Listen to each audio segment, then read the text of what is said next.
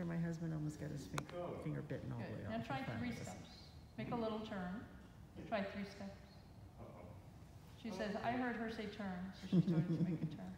I understand English now. You'd be amazed.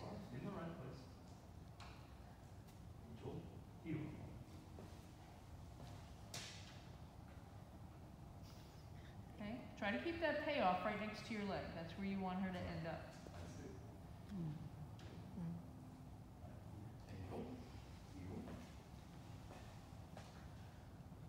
Wow.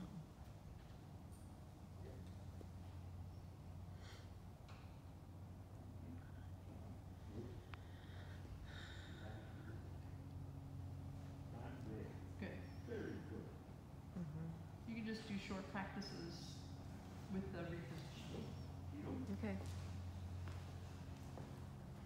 If you're in a place where she can be off leash and slow distraction, you don't even need a leash.